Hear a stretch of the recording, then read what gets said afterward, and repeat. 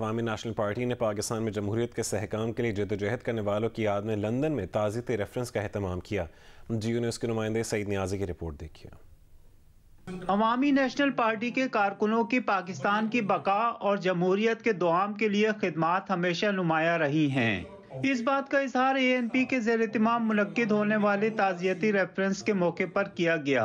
शुरा की बड़ी तादाद ने रेफरेंस में शिरकत की और गुजशत दिनों इंतकाल कर जाने वाले ए एन पी के रहनुमा जावेद अखवनजादा को ज़बरदस्त खराज अकीदत पेश किया।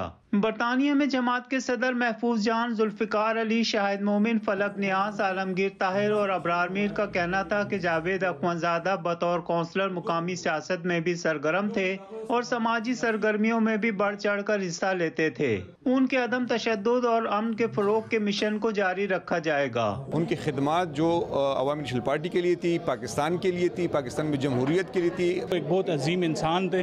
उसने हर बंदे के साथ अपने दोस्त अपने भाई की तरह ट्रीटमेंट की उन्होंने बादशाह खान के सही सफ़ाई होने का हक अदा कर दिया है। के लिए सियासी कारकुन की हैसियत से समाजी कारकुन की हैसियत से बहुत काम किया है। उनका एक जमहूरी विजन था जो कि बादशाह खान का विजन था। मेरे ख्याल में ये लोग फ्रंट की सियासत कर रहे हैं यूके में भी। ए एन पी के रहनुमाओं ने निज़ार यूसुफ जई और सईद खान की खिदमत को भी खराज अकीदत पेश किया और मरूमीन के लिए दुआ मगफरत की गई।